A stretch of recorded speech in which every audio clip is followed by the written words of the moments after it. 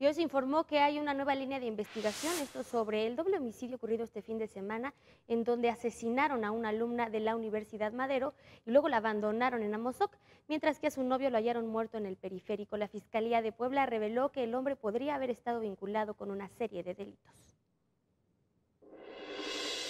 Sabemos que eran parejas, guardaban una relación y este, todo parece indicar que tiene que ver con antecedentes delictivos, inclusive de la persona que, que se localizó y se llevó a cabo el levantamiento frente al fraccionamiento